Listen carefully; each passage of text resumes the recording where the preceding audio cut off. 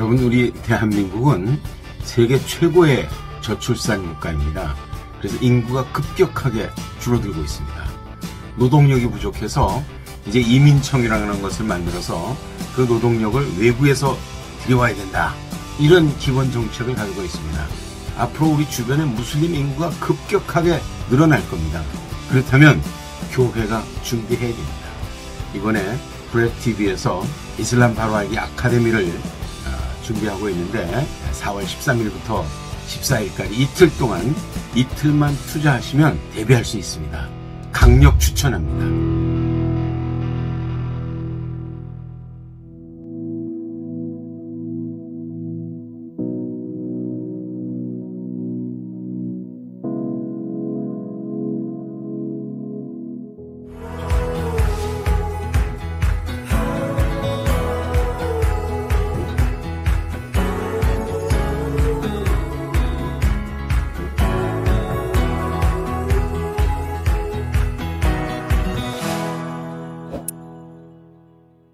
샬롬 샬롬 전 세계에 계신 Brad TV 시청자 여러분 저는 여러분들과 함께 하나님의 말씀인 토라 portion을 나눌 한 새 사람 교회 강대위 목사입니다.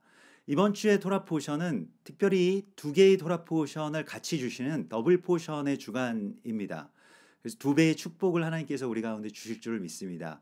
어, 첫 번째가 ויקהל이라고 하는 토라 portion이고요. 이 ויקהל은 이제 모으고라는 그런 뜻입니다.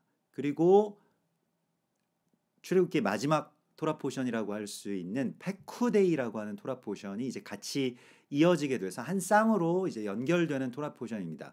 פקודי는 어, 물목을 계산한다. 그래서 이 물목 물건의 목록이라고 하는 그러한 뜻을 갖고 있고요. 이 둘이 어, 서로 보완적으로 어떤 큰 영적 의미를 가지면서 결국 출애굽기의 목적이라고 할 수 있는 이 성막의 완성을 무엇을 통해서 이루느냐라고 하는 이, 이 반반의 어떤 그 요소들을 우리에게 말씀을 하시고 있습니다. 그래서 먼저 우리가 살펴볼 것은 바야크엘이고요. 바야크엘은 이제 모으고 그래서 모아서 이스라엘 백성들에게 어떤 명령을 내리는 예, 그러한 말씀으로부터 시작이 됩니다. 출애굽기 35장 1절에 보면요. 모세가 이스라엘 자손의 온 회중을 모으고 그들에게 이르되 여호와께서 너희에게 명령하사 행하시게 하신 말씀이 이러하니라. 그래서 모으라라고 하시는 것인데요. 그 모으는 이유는 먼저는 완전함을 이루기 위해서입니다. 그래서 어, 이 모이기를 패하는 어떤 사람들의 습관과 같이 하지 말고 이 마지막 때의 말세에는요. 자꾸 이제 모이기를 패하는 어떤 그런 습관들이 들어요. 우리도 코로나 이후에 보면 이제 교회가 모여야 되는 이유에 대하여서 우리가 역설적으로 지금 더 강력하게 그것을 찾아야 되는 시간이 되었습니다. 전에는 뭐 교회는 당연히 모이는 곳이고 그래서 교회가 컨그레게이션이고 모임이고 그래서 성도들이 모여야 되고 주일날마다 항상 나아가서 어, 그렇게 모이는 곳을 교회라고 불렀는데 이제 모여, 왜 모여야 되냐 이 질문을 세상으로부터 받게 되었잖아요. 우리가 모여야 되는 이유는 무엇입니까? 그래서 성경에서는 우리가 모여야 되는 이유에 대하여서 그게 이제 히브리서 10장 24절에 서로 돌아보아 사랑과 선행을 격려하고요. 자, 보십시오. 사랑과 선행이라고 하는 것은요. 혼자 개별적으로 행하는 것이 아니라 서로가 격려하고 격려받으면서 어떤 사람이 정말로 사랑하는 것, 선행을 베푸는 것 이런 것들을 함께 이루어가는 것이라고 말씀을 하십니다. 모였을 때 이 일이 일어나는 것이고요. 또 모이기를 패하는 어떤 사람들의 습관과 같이 하지 말고 오직 권하여 그 날이 가까움을 볼수록 더욱 그리하자라고 말씀을 하십니다. 이게 히브리서의 종말론입니다. 종말의 때가 가까웠을 때 우리에게 필요한 것은 어떤 음모가 세계 도처에서 일어나고 있냐 이런 것이 아니고 징조나 음모에 대한 뭐 어떤 지식이 아니라 우리에게 필요한 것은 모이기에 힘쓰는 것이라고 말씀을 하시고 있습니다. 그래서 이 모임이라고 하는 것을 헬라 말로는 에피시나고게라고 하는데 이게 이제 회당이라고 하는 시나고그의 어떤 어원이 되죠. 에피시나고게라고 하는 것은 이게 모임을 통해서 완전함을 이룬다는 것입니다. 우리는 개별적일 때는 결코 완전할 수 없도록 이미 창세 전부터 디자인되었습니다. 그래서 사람이 홀로 있는 것은 선하지 못하다. 옳지 못하니 사람이 독처하는 것, 아담의 독처에 대해서 그냥 외롭게 혼자 고립되어 있는 것에 대하여서 하나님께서는 이것은 선한 것이 아니다라고 말씀을 하십니다. 우리는 개별적인 한 사람 한 사람이 서로를 보완하면서 모일 때, 만날 때, 하나 될 때 하나님의 완전함을 이루게 된다라고 하는 것입니다. 그래서 모임이라고 하는 것을 뭐 헬라 말부터 우리가 살펴봤습니다만은 이 바야크엘은 카할이라고 하는 히브리 동사가 어원이 됩니다. 그래서 이걸 이제 모으다, 하나 되게 하다, 모이게 하다라는 뜻인데요. 이 카할이라고 하는 동사가 우리가 지난주에 불임절에 보았던 그 에스더서의 후반부에 집중적으로 굉장히 많이 나오는데요. 카할이라고 하는 동사. 이스라엘 백성들을 모으고 모아서 금식시키고 또 모아서 하나님의 말씀을 듣게 하고 모아서 함께 기도하고 간청하게 하고 모아서 모으라 이런 말씀들이 카할이라고 하는 말씀들이 왜 나오냐면 아말렉과의 전쟁을 위해서 하나님의 군사를 모으는 것입니다. 근데 아말렉은 폭력으로 증오로 전쟁을 하죠. 그래서 아말렉은 결국에는 이스라엘을 미워하는 어떤 그 증오감의 어떤 영입니다. 아말렉의 목적은 증오를 부추기는 거예요. 그게 혈통적인 이스라엘이든 아니면 여러분들이 어떤 미워하는 어떤 대상, 여러분들이 미워하는 어떤 종파, 신학 이런 것들이 될 수 있을 것입니다. 우리는 미움이라고 하는 것을 통해서 의로움을 이룰 수가 없습니다. 하나님의 의로움이라고 하는 것은 하나님의 방법대로 이룰 수 있는 것이지 아말렉의 방법대로는 이룰 수 없는 것입니다. 그래서 로마서 11장에서도 보면요. 로마서 11장의 말씀이 무엇입니까? 원유맨을 이루는 것이죠. 그래서 전에 원수되었던 자들이 서로를 위해서 이스라엘이 우리, 우리를 위해서 먼저 넘어준 넘어졌고 그래서 이방의 충만함을 이루는 것이라고 말씀을 하시면서 로마서의 결론은 무엇이냐면 원수 사랑에 있죠.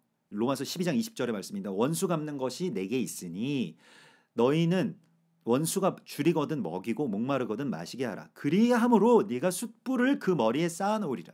그러면서 주님께서 말씀하신 것이 악에게 지지 말고 선으로 악을 이라. 우리가 악에게 지는 것은요. 아말렉의 영에게 굴복하게 되는 것은 우리의 가장 연약한 부분들을 아말렉이 파고들어서 무엇을 하느냐? 내 안에서 그 지체를 미워하고 증오하고 죽여라. 이렇게 하는 것입니다. 우리가 물론 반유대주의랑 싸우지만요. 그 반유대주의자들을 처단하고 지구상에서 지워버리면 반유대주의가 없어질 것 같습니까? 또 다른 반유대주의가 생기게 됩니다. 이게 일종의 증오 범죄를 부추기는 것이 아말렉의 영이라고 한다면 하나님께서는 우리에게 하나 되게 하는 것을 위해서 힘쓰고 심지어는 원수를 우리가 어떻게 이기느냐 원수를 아말렉의 방식대로 원수를 그냥 없애버리 는 것으로 하나님의 의를 이루는 것이 아니라 원수를 위해서 기도하고 금식하고 또 줄이거든 먹이고 목마르거든 마시게 하는 것을 통해서 원수를 갚는 것 그게 바로 선으로 아말렉의 악을 이기는 것이라고 말씀을 하시고 있습니다. 우리가 잘 생각해야 될 게 자, 이스라엘을 대체하는 대체 신학이라고 하는 것이 잘못된 것 맞습니다. 그런데 어떤 분들은 그래서 대체 신학을 이야기하는 분들을 미워하고 막 증오함으로써 대체 신앙을 없애자라고 이야기를 할 수도 있, 습니다 그렇죠? 뭐 교회가 또 어떤 목회자가 대체 신학에 아직 머물러 있다라고 한다면 우리가 해야 될 것은 무엇이겠습니까? 불쌍히 여기고 기도하고 기다려 주는 것이죠. 하나님께서 그 안에서 무지했던 나를 일깨우셔서 여기까지 오게 하신 것처럼 그 사람에게도 그리하실 것이다라고 하는 소망을 품고요. 그를 위해서 기도하는 것이 이제 우리의 사명인데 대체 신앙을 그냥 미워하면 되는 것입니까? 그래서 우리가 아말렉을 미워하는 방식은 미움을 통해서 미워하는 것이 아니고요. 악을 선으로 이기는 하나님의 방식이 있다는 것입니다. 이것이 제일 첫 번째로 주님께서 백성들을 모아서 주시는 명령의 첫 번째가 안식일을 거룩하게 지키라는 예, 그러한 이유입니다. 안식이라고 하는 것 자체는 내가 일을 더 많이 하기 위해서 아니면 이때까지 일을 많이 해서 지쳤으니까 쉬라고 하는 말씀이 아닙니다.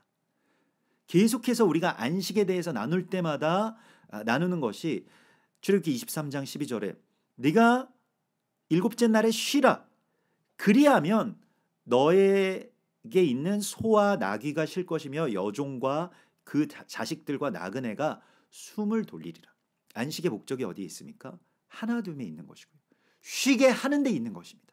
그래서 안식은 아말렉과 싸우는 용사들이 그 대적이 우리에게서 평안을 빼앗아 갔죠. 미워하라고 하는 주술로 계속해서 우리를 쉬지 못하게 하죠. 밤에 누워서 자는데도 누가 미워가지고 막 죽겠고 심지어는 우리가 원리맨의 사역을 하는 이스라엘을 사랑하고 이스라엘을 위해서 기도함에도 불구하고 막 서로에 대해서 굉장히 분열적이 되는 이유가 무엇입니까?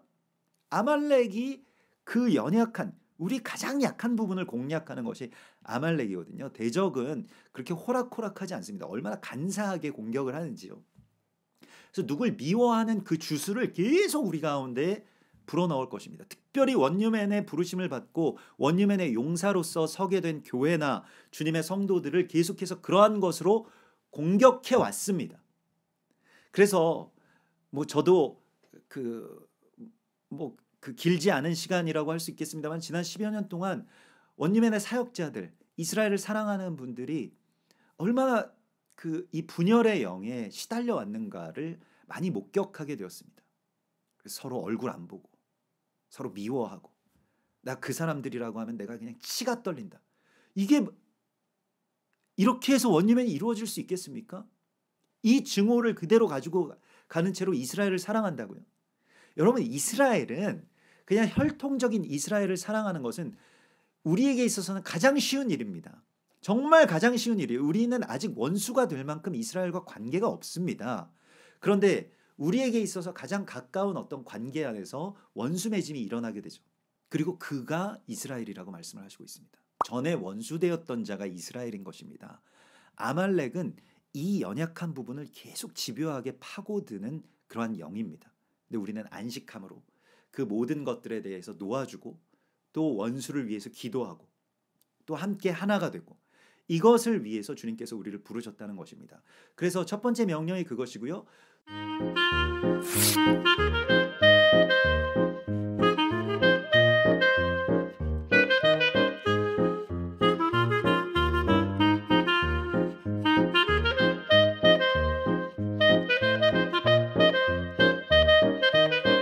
또 다음 이제 성막을 완성해 가는 데에 있어서 가장 큰 어떤 힘이 무엇이냐면 자원하는 심령으로 이스라엘 백성들에게 자신들의 것을 가져와서 바치게 하라라고 하는 것이죠. 그래서 자원 이 나다브라고 하는 이 자원이라고 하는 동력을 통해서 이것은 정말로 그 자원하는 심령, 기뻐하는 심령, 마음의 감동 이러한 것입니다. 이것을 주님께서 우리 가운데 말씀을 하시면서 출애굽기 35장 4절 5절 말씀을 보면 이스라엘 온 회중에게 말하여 이르되 여호와께서 명령하신 일이 이러하니라 너희 소유 중에서 여호와께 드릴 것을 택하되 마음에 원하는 자는 마음의 원함 이 나다브 자발적으로 군사로 내가 부르심에 응답한다라고 하는 그런 뜻입니다.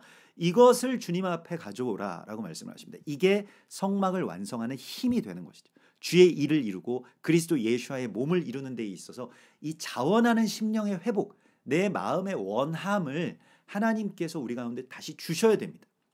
그래서 우리가 회개라고 하는 것을 단순히 그냥 내 죄를 뉘우치는 것에 그치는 것이 아니라 시편 51편이 다윗의 대표적인 회개 시편인데 다윗이 이제 바세바와의 그러한 그 범죄 가운데서 우리아의 아내를 그 정말 안 좋은 방식으로 취하였을 때에 하나님 앞에 회개할 때 그냥 자기 죄를 뉘우치는데 그치지 않고 이렇게 기도합니다. 시편 51편 12절에 보면 주의 구원의 즐거움을 내게 회복시켜 주시고 자원하는 심령을 주사 나를 붙드소서 이렇게 간구하고 있습니다. 자원하는 심령을 주님께 간청하는 것입니다. 우리에게 있어서도 나의 원함이 아니라 주님의 원함 그것이 나의 자원하는 심령이 되게 해달라고 주님 앞에 간절히 간절히 간청할 때에 주께서 우리에게 이것을 주시겠다고 말씀을 하시고 있습니다. 우리가 지난주에 보았던 그 에스더서 불임절의 본문인 이 에스더서에 보면 왕후가 교체되죠. 그러니까 신부가 바뀌는 그런 지점 가운데 에스더라고 하는 새로운 신부가 들어오게 된 그 결정적인 사건이 무엇입니까? 그 전에 있었던 와스디라고 하는 신부가 왕의 명령을 거부하죠. 자원하는 심령이 하나도 없었습니다. 그래서 왕이 자원하는 심령을 가진 에스더라고 하는 신부로 바꾸어 버리는 그런 그 일이 일어나게 됩니다. 그 전에 왕궁의 법도가 무엇이었는지가 에스더서 1장에 나오는데요. 에스더서 1장 8절에 마시는 것도 법도가 있어서 사람으로 억지로 하지 않게 하니 이는 왕이 모든 국내 관리에게 명하여 각 사람이 마음대로 하게 함이더라. 이게 하나님의 성품이고 하나님의 법의 어떤 중심에 있는 것입니다. 억지로 폭력적으로 두려워서 하지 않는 것이고요. 이게 하나님의 나라의 동력이 되지 않게 하는 것입니다. 기쁜 마음, 자신의 마음의 원함, 이것이 신부의 아름다움인 것이죠. 에스더가 아름다웠던 이유는 그 안에 자원하는 마음이 있었기 때문입니다. 성막이 아름답게 지어져 가려면 우리가 그리스도 예수와의 몸으로서 교회로서 아름답게 지어져 가려면 가장 우리가 간구해야 될 것이 이 자원하는 심령입니다. 이것은 하나님께서 우리에게 주시는 것입니다. 나의 원함이 욕망이라면 하나님의 원함은 내 안에서 자원하는 심령으로 주님 앞에 바쳐지게 됩니다. 그래서 마음이라고 하는 이 장막을 완성해 갈 때 하나님께서는 첫 번째로 원하는 마음, 내다부라고 하는 이 원하는 마음을 주시고요. 어, 그 35장 25절에 보면 슬기를 주십니다. 그래서 마음의 장막을 완성해 갈 때 마음의 슬기로운 자들이 그 장막을 완성해 가도록 하셨습니다. 그래서 학함이라고 하는 것은 이 지혜롭게 되다라는 뜻입니다. 하늘의 지혜가 주어질 때 이제 주님의 장막을 이룰 수 있게 되는 것이고요. 그리고 26절에 보면 마음의 감동을 받아서 하나님의 장막을 완성했다라고 합니다. 감동이라고 하는 말이 이제 나사라고 해서 우리가 지난주에 보았던 키티사의 그 어원이 되는 동사죠. 들어 올린다는 뜻입니다. 무엇을 들어 올립니까? 내 마음을 주께로 들어 올린다는 것입니다. 내 마음이 무거우면요. 나의 어떤 근심, 나의 욕망에 갇혀 있는 것이 아니라 하나님께 들어 올려진 마음을 감동받은 마음이라고 하는 것입니다. 성령이 우리 가운데 임하시면요. 우리를 가볍게 하십니다. 우리 마음을 가볍게 하셔서 내가 전에는 아까워서 하나님께 못 드리잖아요. 이거 나 없으면 안 되는데 이거 없으면 내 노후가 내, 내가 이번 달에 당장 뭐 살 길이 막막한데 이것에서 이제 벗어나는 것이죠. 하나님께 나 자신을 온전하게 드리는데 나의 발을 나의 마음을 정말 사슴과 같이 가볍게 하십니다. 그래서 나로 나의 높은 곳으로 내 마음을 올려드릴 수 있게 해주시는 것이 바로 하나님께서 우리 가운데 주시는 자원하는 심령입니다. 그래서 하나님이 이 마음의 장막을 회복시키시고요. 그래서 주님의 장막을 이제 오헬 모에드라고 해서 오헬 모에드가 이 회막이라고도 번역이 되고 직역하면 만나는 빛의 장막이 되겠습니다. 오헬이라고 하는 것은 이제 빛나는 빛의 장막을 뜻하는 것이고요. 모에드는 함께 모인다라는 뜻입니다. 그래서 함께 만나기 위한 하나님과 우리가 만나기 위한 것이고요. 우리가 서로가 서로와 만나서 하나 되기 위한 것이 바로 장막이라고 표현된 또 때로는 회막이라고 번역되는 그런 주의 장막의 완성이 되겠습니다. 이 장막의 이 하나됨 모임의 장막을 완성해가는 주님의 거룩한 용사로서 주께서는 오늘 여러분들을 부르신 것입니다. 그게 이 바야크엘의 어떤 주제 의미가 되겠고요. 이어지는 페쿠데이의 말씀은 물목을 계산하라.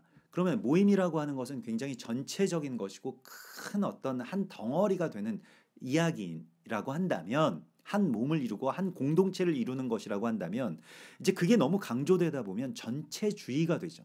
그래서 개인이 말살되고 개인의 어떤 상황은 항상 대를 위해서 소는 희생해야 된다. 그런데 성경은 그렇게 가르치고 있지 않습니다.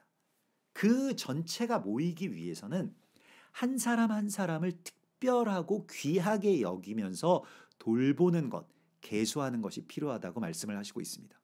그래서 이게 어, 이 전체를 강조하다 보면 잃어버리게 되는 그 양 한 마리를 찾아 나서는 그래서 양 99마리를 내버려 두고 한 마리를 찾아가는 그 목자의 마음을 회복하는 것이 바로 페쿠데이라고 하는 그 모든 물목들이 그냥 전체가 얼마다 이렇게 끝나버리는 것이 아니라 하나하나를 다 세야 전체를 알 수가 있게 되는 것이죠.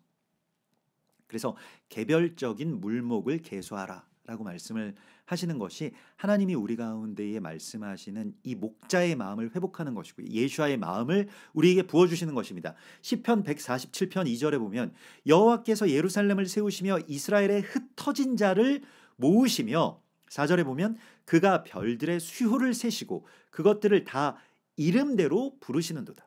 그래서 별들이 그렇게 수많은 별들을 하나하나를 다 세시고 별들 하나하나의 이름을 다 아신다는 거예요. 1호, 2호, 3호 이렇게 부르시는 것이 아니라 하나하나 뭐 명왕성, 천왕성, 목성, 토성 뭐 우리는 뭐 별들의 이름을 뭐 많이 알지는 못하지만요. 하나님께서는 그 하나하나를 다 헤아리시고 그 이름을 다 부여하신다는 것입니다. 이게 어떤 천체의 관측에 관한 이야기이겠습니까?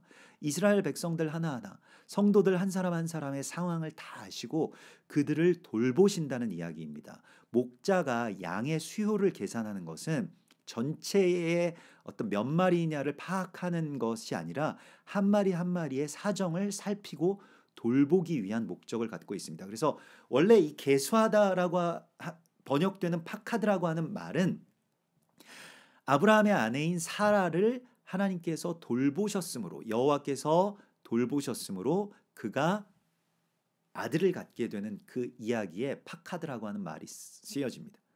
찾아가다라는 뜻이고요. 돌보다 또 수효를 조사하다라고 할 때 פקד라고 하는 동사를 쓰고 여기에서 나온 제목이 פקודי입니다. 그래서 물목을 계수하라. 조금 행정적이고 딱딱한 어떤 그러한 파악의 의미가 아니라 하나하나를 소중하게 다 헤아려라 라고 하는 것입니다. 이것을 통해서 주의 일을 이루는 것이죠. 그래서 성막이 완성이 되고요. 성막의 완성은 하나님의 말씀을 그대로 이 명령하신 것을 그대로 이루었으므로 산 위에서 명령하신 것을 이스라엘 백성들이 실현하는 것 그게 39장 42절과 43절에 나오는데요. 여호와께서 모세에게 명령하신 대로 이스라엘 자손이 모든 역사를 마침에 여호와께서 명령하신 대로 되었으므로 모세가 그들에게 축복하였더라. 그래서 명령하신 그대로 되었으므로. 그래서 이게 이제 캐콜 아쉐르 자바. 그래서 전체 하나님께서 명령하신 것을 짜바 그대로 이루었다라고 하는 것입니다. 이것이 성막이고요. 그래서 그 명령이 그대로 완성이 되었을 때 그래서 하나가 되라 모으라 원수를 사랑하라 원수 갚지 말고 원수를 위해서 기도하라 이 모으는 것과 또 한 사람 한 사람의 상황을 살피고 사정을 살피고 그를 보살피라 돌보라라고 하는 이 말씀 그대로 성취되었을 때 하나님의 성막이 완성이 되고요. 성막의 두 이름이 다 나오게 되는데 출애굽기 40장 34절입니다. 이 출애굽기의 어떤 결말이죠. 구름이 회막에 덮이고 회막은 아까 전에 나누었던 것과 같이 만남의 장소, 하나됨의 장소, 오헬 모에드입니다. 그래서 구름이 회막을 이제 덮게 되고요.